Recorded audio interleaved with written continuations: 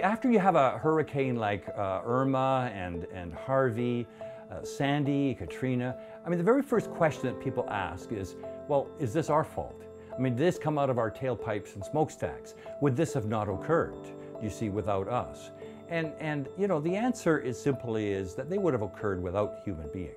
I think what we can say, though, is that there are certain components of the uh, hurricane that could very well be a result of human action, of burning more fossil fuels, of, of warming the air. We know the world is warmer. See, I think that with, with weather disasters, we haven't seen anything yet. I mean, our motivation for doing something about climate change is based not on what we've seen, it's based on what we're going to see. We just had a dress rehearsal, almost an opening act to what is in fact coming our way.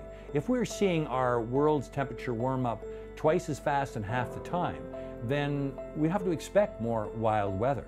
You can't prevent the hazard, but what we can do is prevent it from becoming a disaster by safeguarding, building stronger infrastructure to withstand that particular storm. And we've always done that as Canadians. We're, we're good at adapting to, to our weather. You don't just grin and bear it and fold your arms and say, well, nature's going to get you. No, nature doesn't have to get you.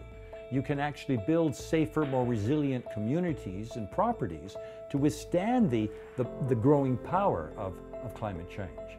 Those smart people, those councillors and mayors that, that, that invest in, in infrastructure that can withstand more powerful storms, hey, they're not going to be ending up with, with smelly sewage in people's basements or, or having um, toxic water left in their, in their downtown cities. They're going to benefit by the fact that they were enlightened and they put a little extra money on making structures stronger to handle the storms of the future, not the storms of the past. Climate is changing and we need to make sure that our approach to it, our response to it, is growing and changing. And I think that nature is giving us um, a lesson, a heads up. I think always, you know, nature's always fair. There's no sneak attacks.